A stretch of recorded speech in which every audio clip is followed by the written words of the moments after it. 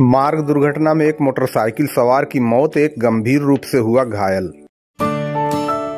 अहिरौला थाना क्षेत्र के फुलवरिया सिक्स लेन हाईवे के पास अज्ञात वाहन की चपेट में आने से एक 23 वर्ष के व्यक्ति की मौत हो गई, जबकि उसका फुफेरा भाई गंभीर रूप से घायल हो गया। प्राप्त जानकारी के अनुसार थाना गंभीरपुर के दयालपुर मोतीपुर गाँव निवासी 23 साल के शनि पुत्र पब्बर और उसका फुफेरा भाई अभिषेक पुत्र अवधेश निवासी भटाहा गौरा थाना मेहनगर दोनों अपाची मोटरसाइकिल से सोमवार को अपने गाँव दयालपुर आ रहे थे और परिवार के लोगों को रात के 11 बजे आने की बात बताए, लेकिन जब 12 बज गया तो पिता पब्बर ने पुत्र के मोबाइल पर फ़ोन किया तो कोई और उठाया और बताया कि इनका एक्सीडेंट हो गया है, जिनमें से अभिषेक गंभीर रूप से घायल है और सदर अस्पताल में भर्ती है।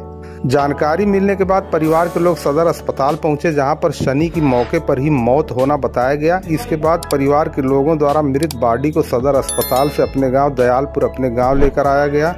पुलिस ने शव को कब्जे में लेकर पोस्टमार्टम के लिए भेज दिया। मृतक ही गाड़ी चला रहा था। मृतक चार भाई बहनों में सबसे बड़ा था। वो दिल्ली में रहकर जेसीबी चलाता था। उसके परिवार के लोग भी दिल्ली में ही रहते थे और पाँच दिन पूर्व ही घर आए थे। दोस्तों, अगर आप हमारे चैनल पर नए हैं तो इसे सब्सक्राइब ज़रूर करें, लाइक और शेयर करना न भूलें।